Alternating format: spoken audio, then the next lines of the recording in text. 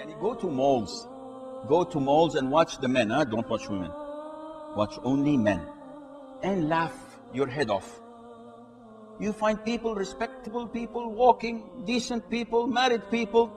And the minute they hear the high heel sound, click, clack, click, clack, immediately you find heads turning.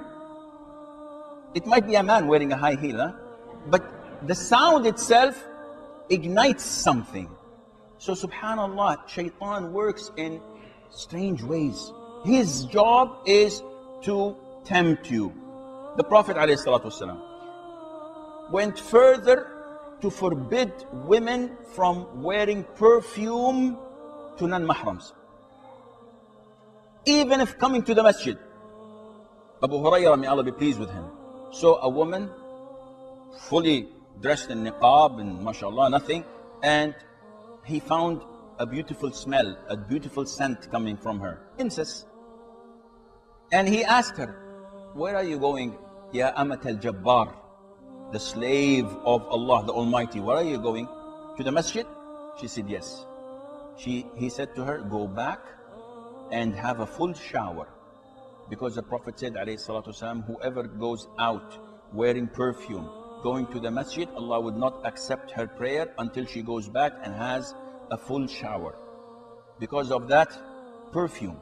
And biologist tells us that they, they've discovered recently that there is a gland in the, in the nose of men that provokes uh, uh, uh sexual desire. Not only that, the Prophet says, whoever, that is a woman, whoever wears perfume and goes out of her house and passes by men so that they can find the perfume smell, she is committing an act of fornication or adultery. Imagine. And the Prophet instructed والسلام, women when they come to the masjid to come without any sort of perfume to the masjid. How about if they're going to, which is, what, what is the masjid? The Prophet tells us, the most beloved piece of land to Allah is the masjid. And the worst and most abhorred piece of land to Allah is the aswaq, the markets. And how do our women go to the markets? Half a bottle of perfume. What, what are you doing? Yes, I'm a Muslim. I have to show people that Islam is beautiful and Islam smells good.